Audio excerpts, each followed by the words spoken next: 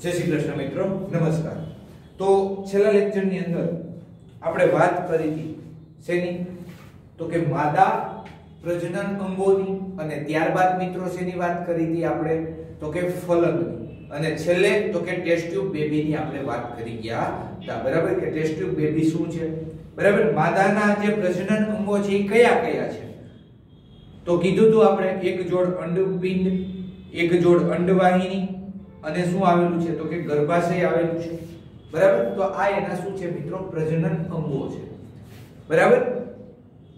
ત્યારબાદ ફલનની ક્રિયા એટલે તો કે શુક્રકોષ અને અંડકોષનું મિલન થવું, જોડાણ થવું. એને શું કહેવાય છે? તો કે ફલન.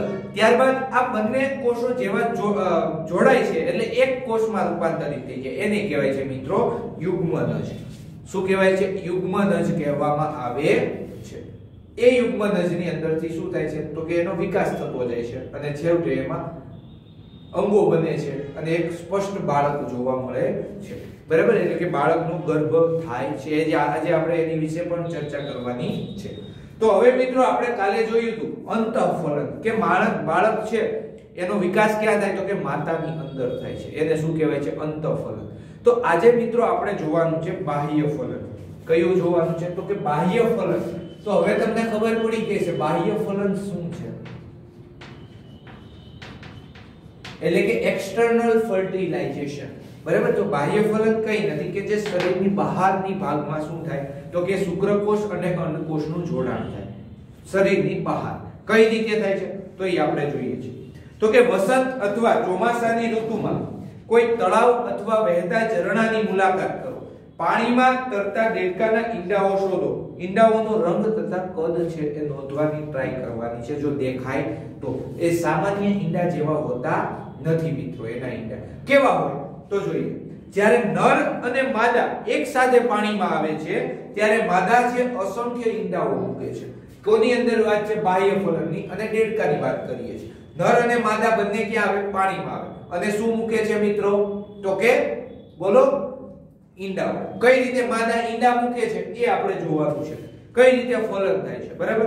તો કે મરઘીના ઈંડાની જેમ દેડકાના ઈંડા કવચથી ઢકાયેલા હોતા નથી, બરાબર? અહીંયા બાહ્ય ફલનમાં ઈંડા છે એ કવચથી ઢકાયેલા હોતા નથી. ઢકાયેલા હોતા નથી. કેમ? એનું કારણ અહીંયા આપેલું નથી. બરાબર? પણ હવે મિત્રો કવચ એટલે તો કે આપણે નોર્મલ જોઈએ છીએ, કેનું હોય તો કે CaCO3 નું, એટલે કે કેલ્શિયમ કાર્બોનેટનું એ કવર હોય છે. શા માટે જરૂરી છે? એ ક્યાં બને છે? એ અહીંયા આપતું નથી. બરાબર? તો ઈંડા છે, બાહ્ય ફલન, એટલે કે દેડકાની અંદર ઈંડા છે બાહ્ય કવચથી ઢકાયેલા નથી હોતા. તો તો એ છે મિત્રો, એક જેલી જેવો ચીકણો પદાર્થ હોય, એની અંદર એ શું હોય છે? ઈંડાનો જન્મ થાય છે. મતલબ કે ઈંડું છે, એ વિકસે છે. બરાબર? તો કે અપેક્ષાકૃત ઘણા કોમળ હોય છે. કેમ તો કે હવે કવર નથી એટલે કેવા હોય છે? કોમળ હોય છે, નાજુક હોય છે. જેલીનું એક પડ ઈંડાઓની, ઈંડાઓને એક સાથે જોડાયેલું રાખે છે તથા તેનું રક્ષણ કરે છે. જો આકૃતિમાં આપેલું છે તમને.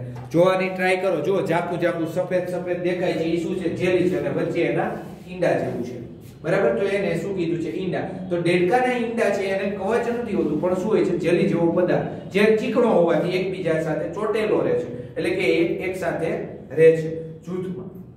માદા જેવા અંડકોષ મુક્ત કરે છે. હવે શું થાય છે? એક્સટર્નલ છે. તો અહીંયા જે માદા દેડકી હોય છે, એટલે કે દેડકી કહીએ આપણે સામાન્ય ભાષામાં, એ દેડકી શું કરે? તો કે અંડકોષ મુક્ત કરે. ક્યાં? તો કે પાણીની અંદર. બરાબર? તો શું થાય? તો મિત્રો એ જ સમયે દેડકો છે એ શુક્રકોષ ઉત્પન્ન કરશે. શું ઉત્પન્ન કરશે? શુક્રકોષ હવે આપણે જોઈ ગયા હતા કે શુક્રકોષ હતો, એ આની અંદર પણ શું ધરાવે છે? પૂંછડી ધરાવે છે. તો એ શું કરશે? તો કે જેવા દેડકીએ સોરી એના માદા જન્યુઓ કોષ છોડ્યા, દાખલા તરીકે આ માદા જન્યુઓ કોષ છે. તો હવે દેડકાના કોષો છે, એ શું કરશે?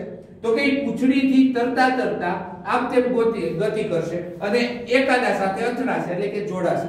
અને શું બનાવશે? તો કે ફલન થશે.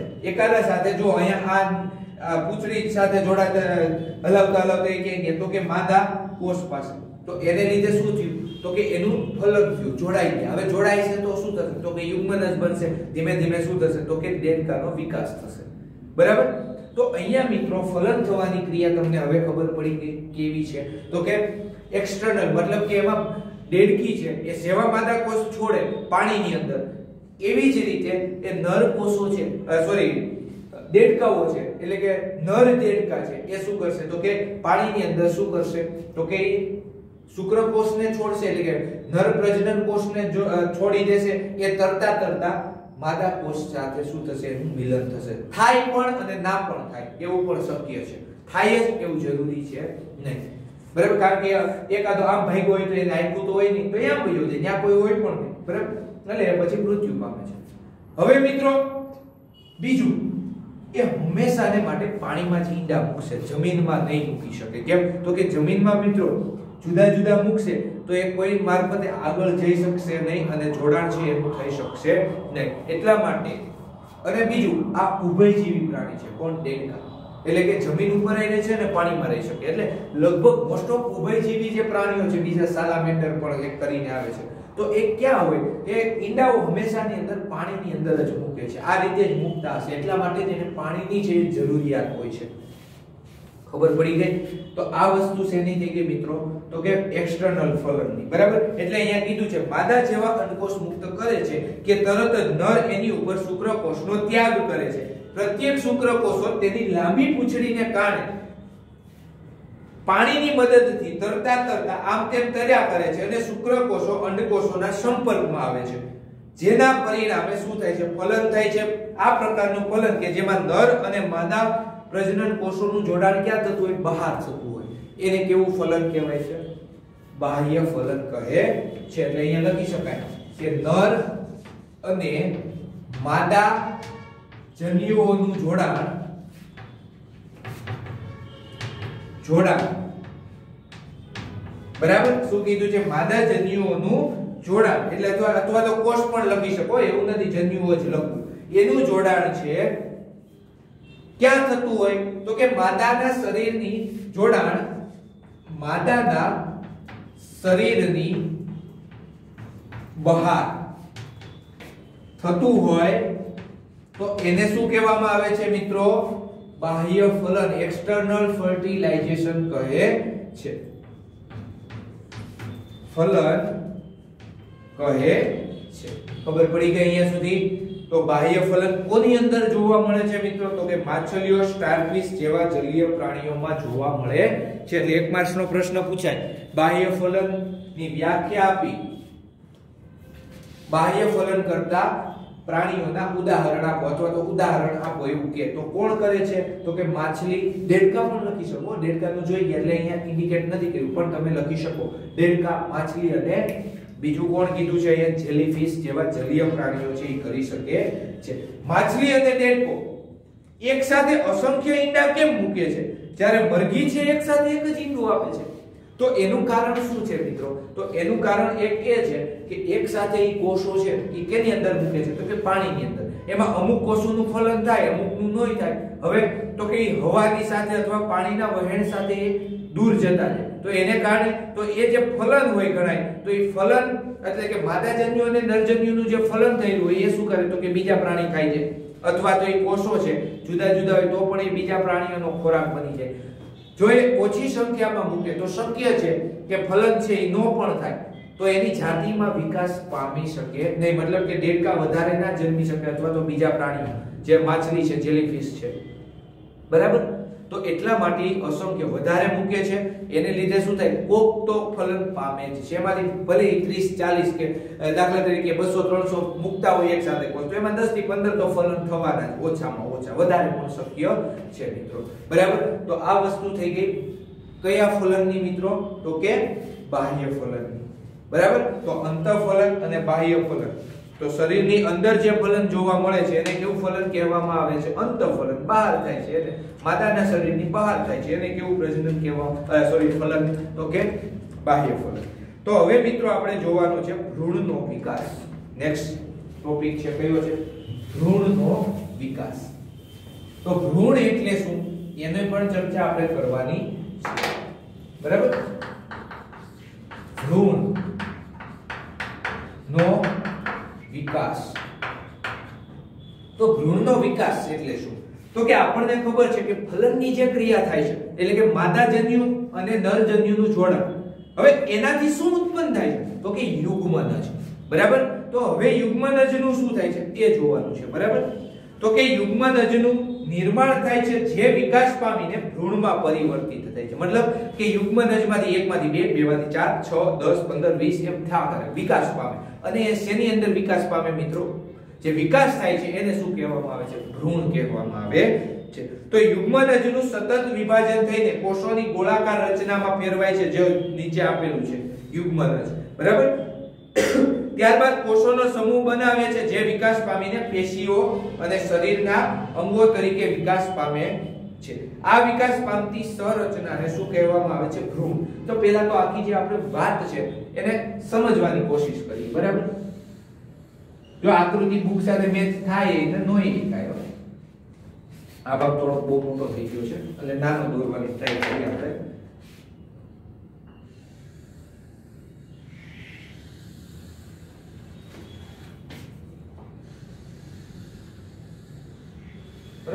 આગળ નાના મોટું હોય તો ચાલે. આ છે ગર્ભાશય હવે અહીંયા શું આવેલું છે? આ જે ભાગ છે, એ હવે હું લખતો નથી, પણ તમે સમજી જશો કયો છે? આ અંડપિંડ છે. આ આ આ અંડવાહિની છે. હવે જોજો. હવે મિત્રો, શું થાય? તો કે શુક્રકોષ આખું જે શરીર, આ જે રચના છે, પ્રજનન, માદા પ્રજનન, એની અંદર શુક્રકોષ ક્યાંથી પ્રવેશે? તો કે યોની, યોનિમાંથી શુક્રકોષ પ્રવેશે. ત્યારબાદ તો કે શુક્રકોષ છે, એને યોની માર્ગ દ્વારા ગર્ભાશયમાં આવે છે, ગર્ભાશયમાં આવીને શું કરે છે? તો કે અમુક જે કોષો છે એ આ દિશામાં જશે, અમુક છે એ આ દિશામાં. જ્યાં ફલન થયું હશે, મતલબ સોરી જ્યાં અંડપિંડ અંડકોષનું નિર્માણ કરશે, ત્યાં શું મળશે? તો કે શુક્રકોષ છે, મળશે. પણ એની માટે શુક્રકોષ ગતિ કરતો હોવો જોઈએ. મતલબ કે ગતિમાન અવસ્થામાં હોય તો જ આટલું બધું અંતર છે કાપી શકે. એટલા માટે જ મિત્રો, આપણે જોયું હતું કે આ પહેલા લેક્ચરમાં જ વાત કરી કે વીર્યની બનાવટ છે કઈ રીતે થાય છે. બરાબર? તો અમુક સ્ત્રાવો છે, અમુક ગ્રંથિઓ અથવા મૂત્રવાહિની ભેળવતી હતી. તો એને લીધે ગતિમાન અવસ્થા પ્રાપ્ત કરે છે. બરાબર? તો આ વસ્તુ છે ગતિ કરે છે. અને બીજું, થોડુંક પ્રેશરથી એ વીર્ય છે બહાર આવે, એના લીધે ગતિ કરતું કરતો છે એ શું થાય? તો કે શુક્રકોષ છે અહીંયા પહોંચી શકે છે. શુક્રકોષો લાખોની સંખ્યામાં હોય, એમાંથી એક જ ફલન પામે છે. મતલબ કે એમાં પણ રેસ થાય છે. તમે કદાચ જોયું હશે. 3 ઇડિયટ્સ મૂવીમાં આ સીન આપણું બતાવે છે. બરાબર? તો હવે શું થાય? તો કે દાખલા તરીકે એક અંડકોષ અહીંયાથી ઉદ્ભવ્યું. શું ઉદ્ભવ્યું મિત્રો? એક અંડકોષ. શું થશે? તો કે અંડકોષ છે એ ક્યાં જશે? તો કે અહીંયા. આ વિભાગમાં. એને કીધું છે અંડપાત. બરાબર? જો અહીંયા આપેલું છે. તો ત્યાં જશે. તો ત્યાં શું થશે? તો કે શુક્રકોષ છે ગતિ કરીને આવ્યો હશે. એ એની સાથે જોડાણ પામશે. એટલે કે ફલન થશે.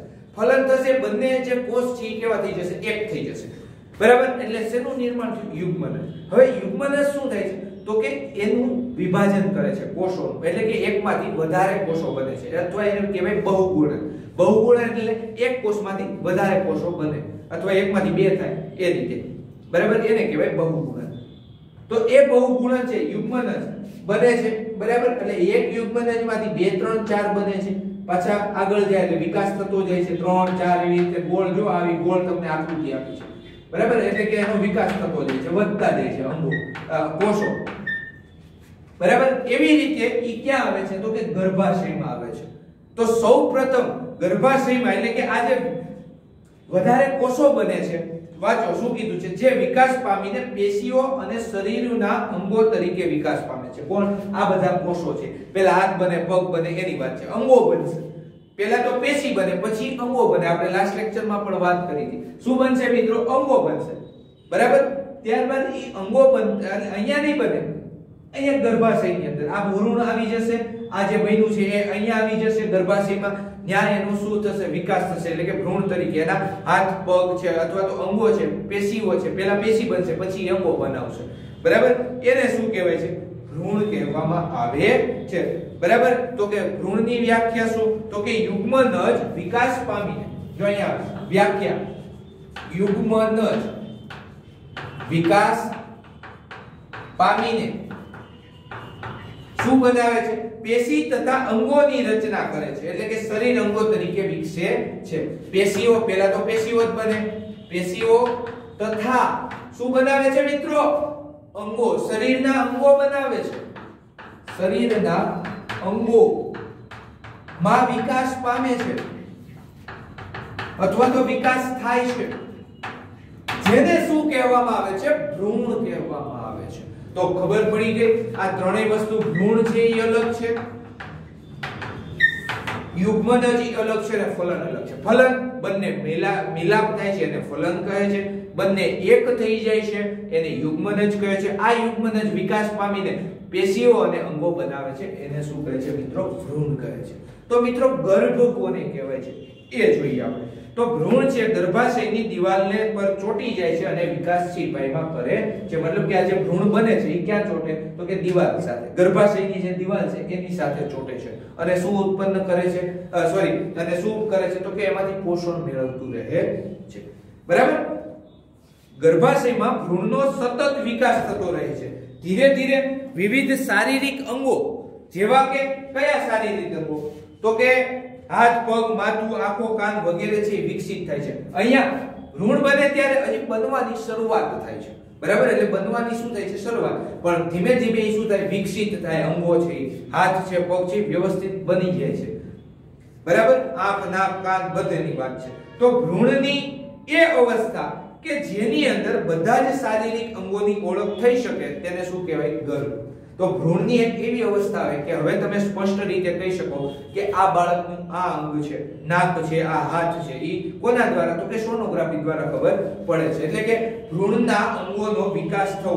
બરાબર? એટલે કે ભ્રૂણની એ અવસ્થા કે જેમાં બધા જ શારીરિક અંગોને ઓળખી શકાય. બરાબર? ભ્રૂણની એ અવસ્થા કે જેમાં બધા અંગોને ઓળખી શકીએ છીએ. શું કરી શકીએ છીએ મિત્રો? ઓળખી શકીએ છીએ.